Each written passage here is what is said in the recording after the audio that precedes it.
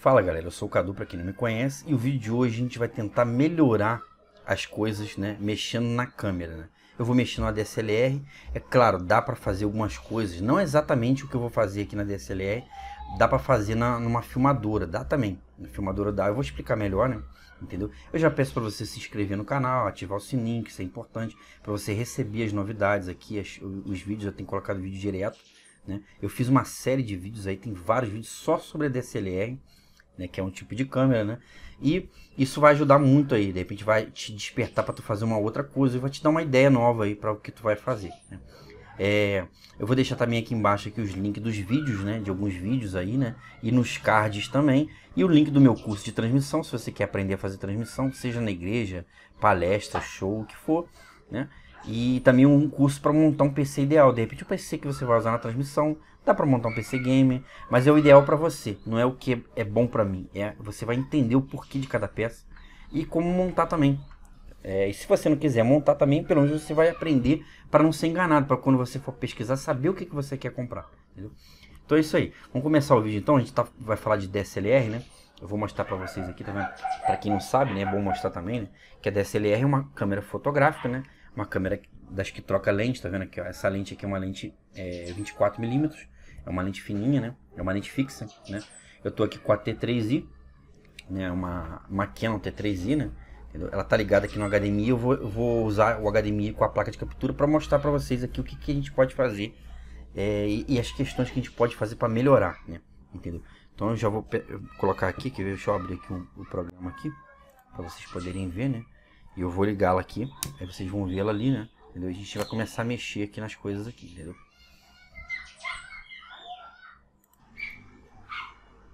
Bom, eu peguei aqui a, a, DSLR na minha mão. Eu não sei se vocês estão reparando, olha só. É claro, a gente tem que, levar em consideração também que aqui eu tô gravando também a tela, né? Então esse programa que faz a gravação, ele atrapalha um pouco, né? Ele atrapalha um pouquinho aí na, nessa questão que eu tô fazendo. Isso aqui limita um pouquinho o computador. Mas eu não sei se vocês estão reparando, olha só a câmera, ó. Ela tá assim, lenta. Ela tá com lag, né? Ela dá uns pulos, tá vendo? É, ela tá engraçada, tá estranha, tá vendo? Não sei se a imagem vocês estão percebendo, né? Entendeu? Então o que, que a gente pode fazer? Tem algumas coisas que a gente pode fazer, né? É claro, no, no, no, numa filmadora, por exemplo, o que, que você pode fazer? Você pode mexer na íris, você pode mexer no foco, deixar a câmera sempre no manual, evitar usar a câmera no automático, a não ser que seja uma coisa específica que você usa muito zoom ali, às vezes você precisa de um foco automático, né? Entendeu? Mas a, a filmadora, se você regular ela, se você fizer ali um balanço de branco ali muito bem feito, né? Você conseguir ali é, regular, né? Mostrar, porque você precisa fazer isso, né? Você precisa mostrar para a câmera o que, que é o branco, porque a câmera ela entende várias é, questões de, de, de iluminação que ela recebe, né? A quantidade de luz que entra na lente, né? Então ela acaba às vezes achando o, o branco que é diferente do que você está vendo. Entendeu? Então, dependendo do ambiente, muda. Eu estou aqui no ambiente claro, porque tem uma janela aqui, né? então isso facilita. Então, eu posso até escurecer um pouco a lente, eu posso fazer algumas coisas aqui. Né? Mas dependendo do ambiente que você tiver, às vezes você não vai conseguir fazer isso. Entendeu? Então, tem essas questões também. Mas numa filmadora, você pode mexer na íris, você pode mexer, regular o balanço de branco, fazer ali aquelas regulagens de cor, você pode mexer nas tonalidades também, você pode mexer em algumas coisas ali que vai ajudar muito. Né? A, a câmera DSLR ela tem umas particularidades que ela é um pouco diferente, por quê? Porque você consegue mexer no ISO, você consegue mexer algumas coisas na lente, né? Entendeu? Isso vai ajudar em muita coisa.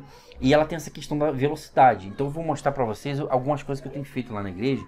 E isso eu descobri com o tempo, não tem como descobrir de um dia para o outro, né? Por exemplo, há pouco tempo eu estava usando a outra lente, não essa aqui, né? Essa aqui eu já falei, a 24, né? Eu estava usando a lente 50. A lente 50 é uma câmera excelente ela é muito clara, a, uma câmera, é uma lente excelente, né? E ela, ela capta muita luz, ela recebe muita luz porque ela tem uma abertura boa, né? Ela é 1.8, né? E aí, o que acontece? Só que com isso ela tem um foco sim muito limitado, ou seja, o foco, se tu botar no rosto, o foco é no rosto mesmo, sabe? Entendeu? Então as outras coisas acabam desfocando. Então para fazer imagem em segundo plano é maravilhoso, fica linda a imagem, mas tu tem que tomar cuidado para isso não te atrapalhar. E é o que estava acontecendo comigo. Quando a gente soltava fumaça, na hora do louvor, né, que a gente tem lá a máquina de fumaça, embaçava tudo. A lente parecia que tinha. Parecia que alguém tinha soprado. Sabe quando tu sopra no vidro e dá aquele embaçado? parecia isso, que tinha congelado o vidro ali, né?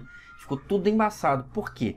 Por causa dessa questão, por causa do foco, né? E o que, que eu fiz? Eu fechei um pouquinho a abertura da lente, né? Diminuí o F dela, né? No caso, aumentei o F, né? Para diminuir a, a, abertura, né? E isso melhorou porque o meu foco ali que estava mais ou menos no rosto, ele abriu um pouco mais. Ou seja, eu tive um ponto de foco maior né? no, no, no corpo em si, né? na, na, na pessoa praticamente toda. Né? Então isso ajudou. Quando vinha fumaça, ele não desfocou, ele conseguiu enxergar aquelas diferenças, né? Porque a câmera ela faz assim, ela vai fazendo comparações. Né? Eu não vou explicar como é que funciona o foco, eu também sou especialista nisso, né? Eu teria que pesquisar melhor, né? Mas é uma questão assim, que às vezes ela vê o contraste, essas questões assim, para poder fazer o foco, né? entendeu? E aí o que que acontece? Foi o que eu, que eu fiz para melhorar ali. Eu vou mostrar para vocês aqui, né? Deixa eu ligar lá de novo aqui, tá vendo? Uma das coisas que a gente pode fazer, vocês vão ver ele na tela, né? Que eu vou abrir aqui, né? Eu vou abrir aqui o Magic Lantern, né? Porque eu vou ficar mais fácil para me mexer. Tá vendo aqui? Eu vou botar lá na primeira parte lá, ó. Eu vou olhar aqui, né? É... Aqui, ó, tá vendo? Aqui tá a temperatura de cor, né? Ou seja, eu vou, eu vou mexer na temperatura de cor só para vocês verem, né? Ó, quer ver? Eu vou botar aqui o máximo que eu puder. Olha como é que a, que a, a, a câmera fica bem amarela, tá vendo? Ó, eu tive que mexer um pouco nisso, por quê? Porque lá na igreja, lá as luzes são muito azul. Então eu acabei tendo que mexer, né? Agora a gente tá, chegou no, numa, numa questão aqui de de 6.500, se não me engano. Eu não tô conseguindo enxergar ali. Não sei por que, que ele fez isso. Agora eu tô vendo aqui melhor. É, vou botar 6.500. Que é o que eu deixei que estava regulado lá para a igreja, né? Então só para mostrar para vocês que tem vários recursos que tu pode usar. O ISO, quanto mais você sobe ele, olha só. Mas ele clareia a imagem. Só que tu tem que tomar cuidado porque ele também traz ruído. Você fica com ruído na imagem. A imagem fica toda granulada, entendeu? Então não é bom, você tem que tentar balancear ao máximo. Então o que, que eu fiz lá na igreja? Eu peguei aqui, ó. Eu aumentei para 2.8 a abertura dela, né? 2.4, aliás, né? Isso na câmera que tava com com a, com a lente 50, né? E aí ele melhorou, né? E aí eu, eu fui e aumentei a velocidade também. Você aumentando a velocidade, a, a ele fica mais rápido, que ele consegue fazer esse movimento mais rápido. Né? Aqui foi o que eu falei para vocês, também tem um pouquinho demorado aqui por causa da questão da, da dessa gravação que eu estou fazendo. Isso daí tá atrapalhando um pouquinho também, entendeu? Então deixa eu, deixa eu fazer o seguinte, quer ver? Deixa eu fazer uma outra coisa aqui, ó. Deixa eu voltar com isso aqui, deixando que tá. Vou pegar outra câmera ali para mostrar para vocês como é que tá diferente. Tá vendo? Olha como é que tá aqui, ó. Porque essa lente aqui, ela é 2.8, não tem como diminuir. Eu vou mostrar outra para vocês, vocês vão ver. Aí vocês vão perceber as questões e os detalhes aí. Quer ver? Eu já tô aqui com a outra câmera, tá vendo aqui? Essa lente aqui, a lente 50, tá vendo? Ela é um pouco maior aqui, ó, tá vendo? A outra tava com a lente 24 aqui, ó. São duas câmeras, né? E essa aqui, ela tem uma, uma, uma abertura maior. Eu vou mostrar pra vocês, vou ligar ela aqui pra vocês verem, né? A bateria dela tava carregando ali, né? Então você já tem uma imagem diferente, tá vendo? Você já tem uma imagem mais fechada porque ela é 50 milímetros, ela tá mais longe, ela capta mais longe, né? Ela é uma lente fixa, né? Tá vendo? Ela tem as questões de desfoque aqui, que ver se vocês forem ver aqui, ó. Vou fazer aqui um desfoque para vocês verem. Que fica uma imagem bonita, ó. Você consegue fazer assim, ó. ó. Tá vendo que ela tem 1.8, que é o máximo dela, né? Então... Ó, tá vendo?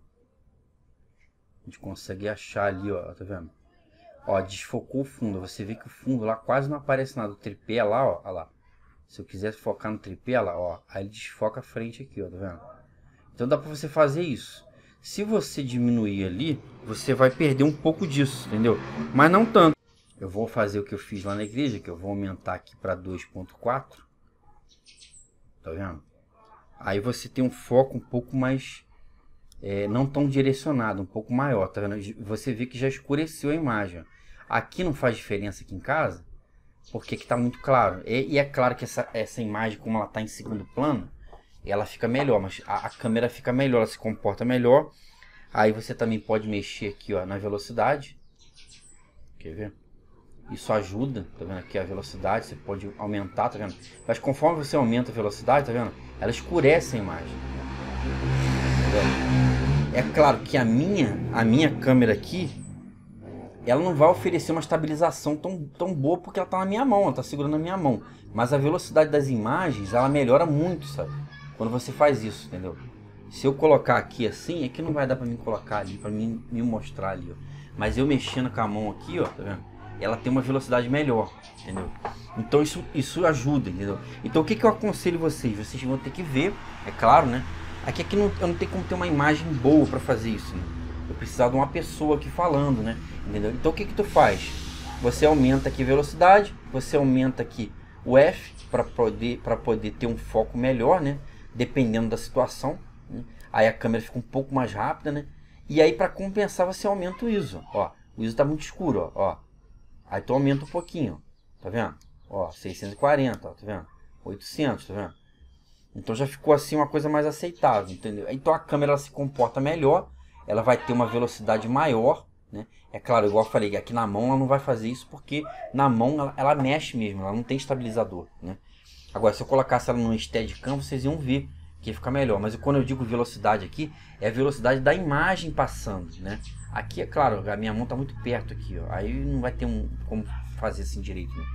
Mas essas questões que eu falei com vocês são interessantes, entendeu? Então, às vezes é melhor você pegar e fechar aqui um pouco aqui, ó, né? Fechar aqui um pouco, você vai escurecer um pouco, né? Mas você ganha, você compensa com outras coisas, né? Você consegue ter uma qualidade maior. A gente sabe que se você usar no limite aqui, que é 1.8, a gente tem algumas distorções na imagem. A gente tem algumas é, que eles falam da, da lente, né? Que a, a, lente ela causa algumas aberrações, que é, são aberrações cromáticas. Né? Isso, é, isso é normal de lentes, né? Entendeu? Então não é bom você usar sempre no limite. O legal seria você usar assim dois pontos acima, ou seja, 2.2. Eu estava usando lá 2.4, entendeu? Então isso ajuda muito. Entendeu? Dependendo da imagem que tu for fazer, se for um lugar muito bem iluminado, às vezes vale a pena você escurecer até mais, porque você ganha em outras coisas, né? E aí você compensa com ISO, você compensa com, com de repente aí, tá vendo aqui, ó, o ISO, você coloca o ISO aqui vai ficar mais claro, né? E às vezes você não vai, não vai ter tanto problema com granulação da imagem, né? Isso vai depender do que tu tá fazendo. E foi, foi o que eu cheguei nesse ponto lá na igreja, entendeu? Só que isso depende de igreja para igreja, isso depende de outras questões. Então é que a gente está falando. Não tem uma receita de bolo pronta. Você vai ter que ver, né? Você vai ter que ver. Outra coisa aqui da imagem aqui, quando a gente estava falando aqui da velocidade, essa velocidade aqui, ó, ela nunca pode ser menor do que o dobro do que você está usando. Por exemplo, se você está usando é, a câmera em 30p, né, que seria aqui 30 frames por segundo, né, que aqui é o mínimo dela tá 33, é por causa do Magic Lantern, né? É, ou então se tu estiver usando 24p, você tem que usar no mínimo que 60, entendeu? Para você não ter problema, entendeu? De velocidade aqui, senão a câmera pode ficar lenta. Eu já vi isso acontecer. A câmera ficar lenta, a imagem não fica igual quando eu passando com a mão aqui, porque a mão está muito perto. Mas quando você pega uma imagem de longe, você consegue ver assim uma lentidão, parece que está slow motion, né? Entendeu? Um pouquinho slow motion assim, não está muito, né? Entendeu? Então é bom você deixar sempre o dobro do que você está usando, no mínimo, né? E é claro que você vai ver e vai colocar de acordo com o que você precisa, né? Eu estou usando lá com 100 ou 128, se eu não me engano. Né? Vai escurecer um pouco a imagem, mas eu compenso e ganho, porque eu ganho uma, uma qualidade de imagem melhor para mim poder jogar lá na, na, na transmissão, entendeu? Então todas essas questões têm que ser vistas, entendeu? Então pensa bem, estuda bastante, procura saber como é que funciona o ISO da câmera, procura saber como é que funciona esse, esse shutter speed, né? Que é, que é a velocidade ali que a gente está usando, né? Entendeu? Procura saber como é que funciona essas questões de ISO, entendeu? Da sua câmera especificamente, porque isso muda de câmera para câmera, né? As câmeras mais caras elas têm mais é, é, mais recursos, você consegue colocar mais ISO sem perder muito a qualidade. Então tem essas vantagens também. Tem as questões da, das câmeras full frame, que tem um sensor maior, então isso ajuda muito, né? Entendeu? Então são uma série de questões, não tem como falar tudo, né? Mas são coisas pequenas que eu fiz aqui, que eu mostrei para vocês hoje, que pode te ajudar a melhorar a sua imagem, entendeu? E a melhorar a velocidade do que você usa, para não parecer que você está usando aquelas câmeras loucas, né? Que, que ficam é, é, fragmentando as cenas, entendeu? Bom, basicamente era isso que eu tinha para mostrar para vocês, né? Entendeu? É claro, existem outras coisas que você pode fazer, tem outras questões que você pode fazer também para melhorar os recursos que você tem, entendeu? Se você faz uma coisa diferente, quiser colocar aí, deixa aí embaixo aí, vai ajudar muita gente. É, comenta com a gente como é que você faz, como é que você usa a sua câmera, se você usa DSLR, se você usa filmadora. Coloca as coisas que você conseguiu conquistar com o tempo ali, descobrindo ali é, regulagens na sua câmera, entendeu? E deixa o teu like aí, querido, e, e, e se inscreve no canal, né? Entendeu? Vai ajudar a gente aqui, vai quebrar um galho da gente também, né? Entendeu? E aqui embaixo eu falo mais uma vez, eu vou deixar os links todinhos aqui, né? É, de alguns vídeos, né? E dos cursos que eu tenho também, entendeu? Porque você pode tentar me ajudar também minha, nessas questões aí, né? Se você estiver comprando um curso, né? Eu vou te ajudar também no que eu puder, entendeu? É, eu tenho conversado com um monte de pessoas, tenho ajudado muita gente aí. Então é isso daí. Um abraço para vocês e até o próximo vídeo. Valeu!